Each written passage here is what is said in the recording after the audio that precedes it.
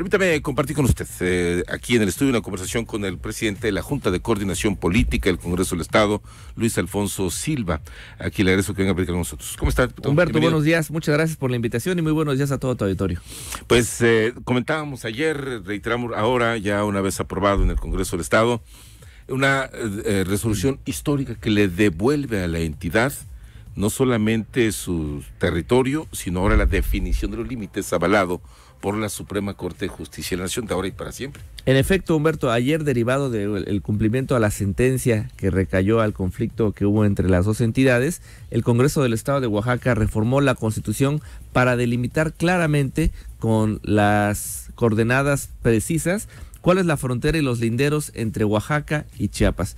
Esto porque desgraciadamente una legislatura eh, de administraciones anteriores en Chiapas, decidió crear un municipio en territorio chapaneco. Aquí las hermanas y los hermanos Soques de Santa María y de San Miguel Chimalapa comenzaron esta lucha jurídica que ayer ya concluyó con la reforma de nuestra constitución y ahora estamos en espera de que el Estado hermano de Chiapas también reforme su constitución de acuerdo al mandato de la Suprema Corte de Justicia de la Nación. Ahora, el mandato no es únicamente para que queden claros los linderos, sino más bien es un mandato con un alto contenido humano y social porque obliga en primer lugar a que todos las, los, las y los habitantes en este lugar pues se les provea de los servicios básicos y que también se implementen programas de pacificación y programas de preservación del medio ambiente.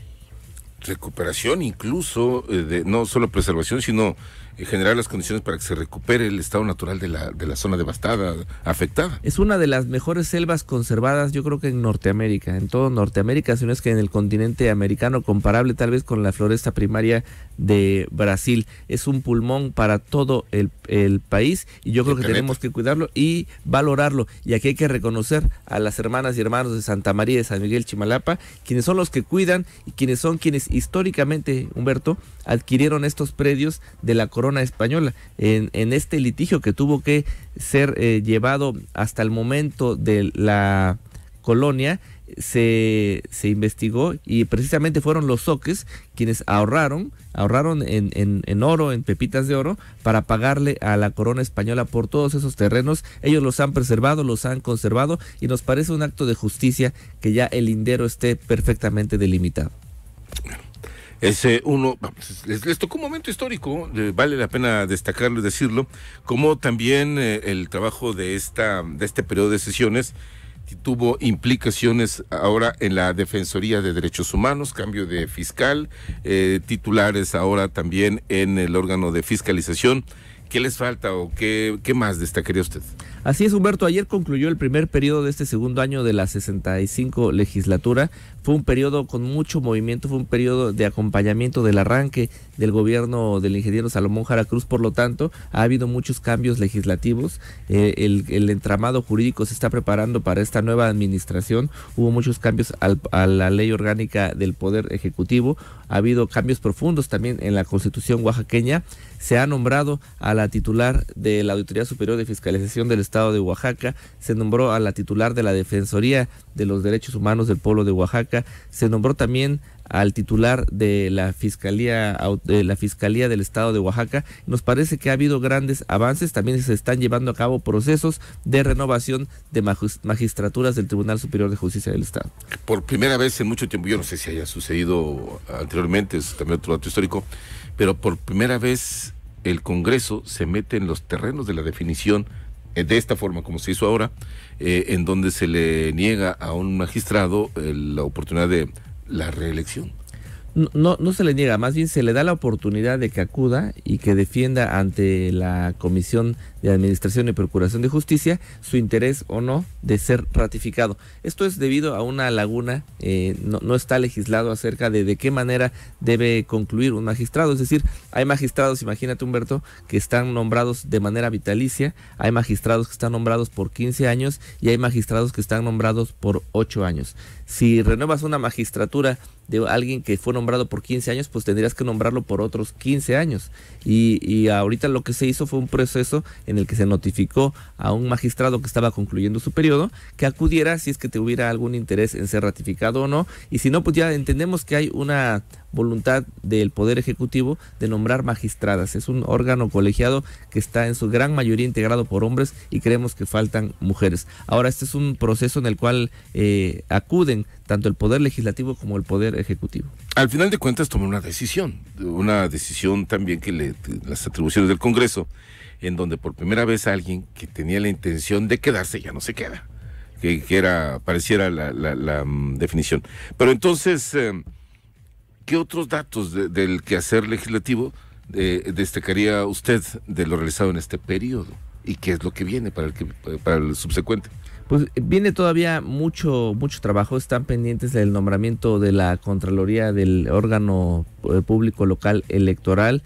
Están pendientes también la renovación de más magistraturas del Tribunal Superior de Justicia del Estado. Ayer también se eligió la Diputación Permanente que encabezará la diputada Aide Reyes Soto. Ella será la que verá los trabajos legislativos en este receso que dura dos meses, pero también el trabajo continúa, las diputadas y diputados tienen muchas actividades, por ejemplo el día de mañana estaremos en conjunto con el gobernador, la presidenta de la Comisión de Asuntos Constitucionales, la diputada Luisa Cortés, la diputada Liz Hernández Matus, el diputado Jaime Moisés Ambrosio, estaremos con los titulares del Poder Ejecutivo en, el establecimiento del Comité Interinstitucional en, Santa María Chimalapa para que ya comiencen los trabajos de pacificación, de armonía, y, de trabajos conjuntos con el Estado de Chiapas para la delimitación y el amojonamiento del territorio oaxaqueño.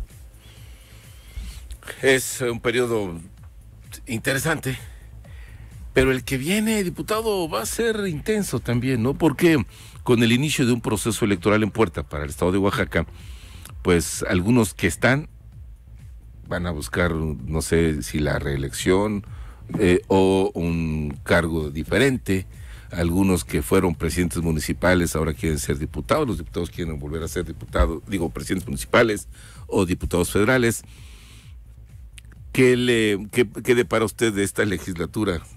Yo veo que hay eh, personas muy valiosas en la legislatura pero precisamente también yo creo que esas aspiraciones naturales que tienen muchas compañeras y compañeros en continuar eh, una, un desarrollo profesional probablemente en ámbitos municipales, probablemente en el Congreso Federal, otros tal vez eh, en otro ámbito privado, pues seguramente habrá movimientos, habrá habrá mucha actividad política, bien lo dices. El otro, el próximo año se renueva la presidencia de México, se renueva el Congreso Federal, se renueva el Senado, se renuevan la, legislatura local, se renuevan muchos órganos colegiados, muchos municipios y creemos que es por eso importante que demos prisa a este trabajo legislativo que tenemos en esta legislatura para que dejemos todo listo, para que pues las legisladoras y legisladores que tengan alguna otra aspiración, pues ya no, no, no tengan pendientes con el pueblo de Oaxaca.